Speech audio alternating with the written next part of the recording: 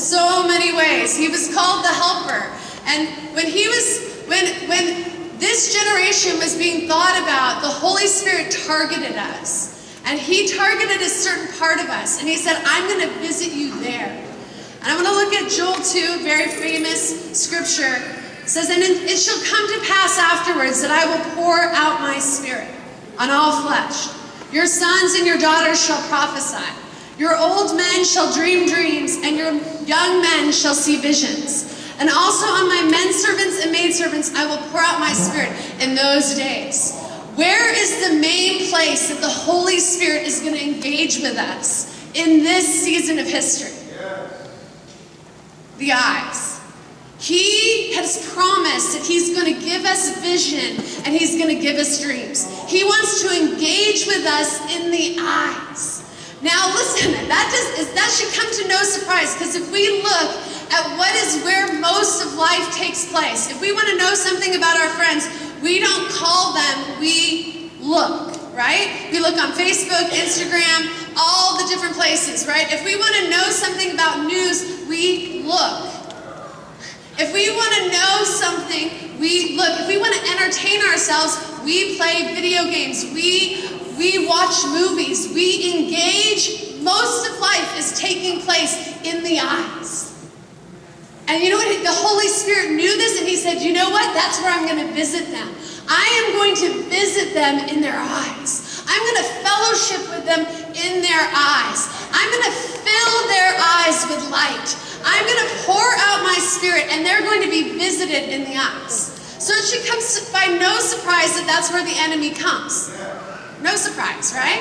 and yet, God is saying, I want to fellowship with you in the eyes. Eyes of our understanding, that the eyes, that what we pay attention to, what we perceive through, how we perceive, has to be filled with light. God is so great. He's like, you know what?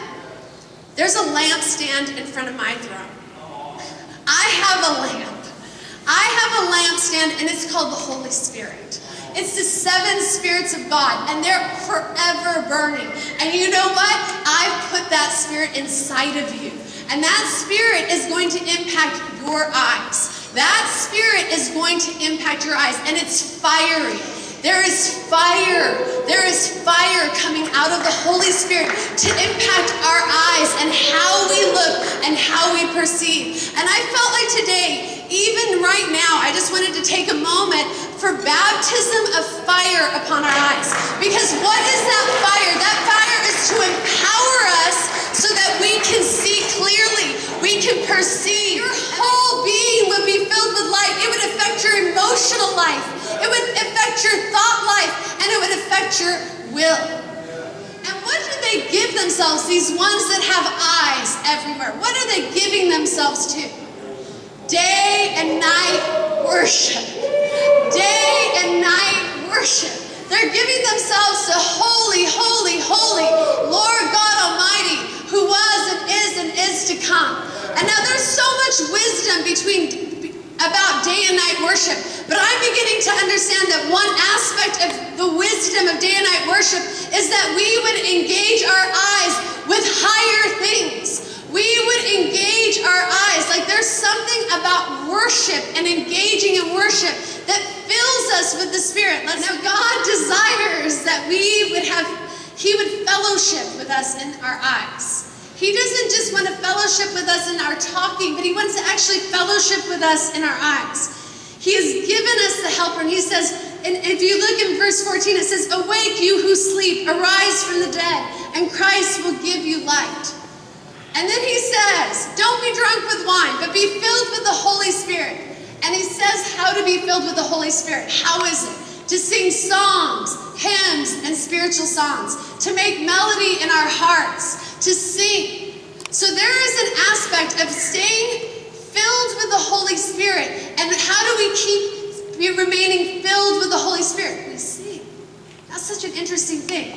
Now, when I've done this, I've always thought of, yeah, just be filled with the Holy Spirit. That will help me to have more self-control. That will help me be good. That will help me have goodness flowing out of me. But there's something more. And that's what I want to talk about. Is it's in the eyes, too.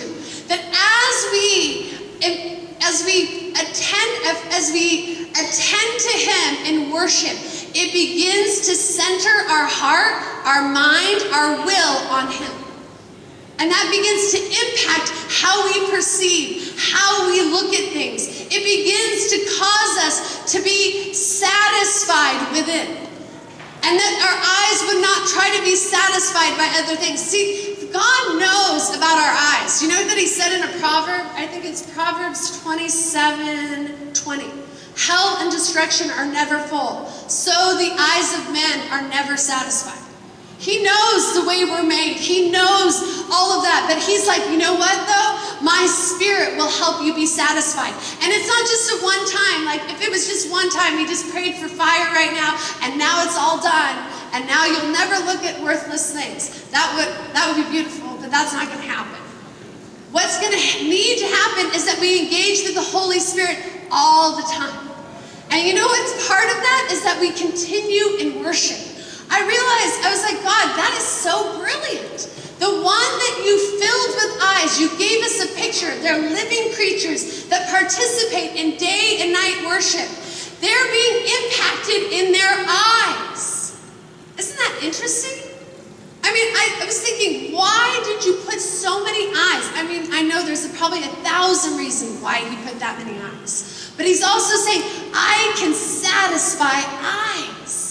They have tons of eyes, and they're worshiping me, and they're being filled with me over and over and over again. So I began to think, wow, worship.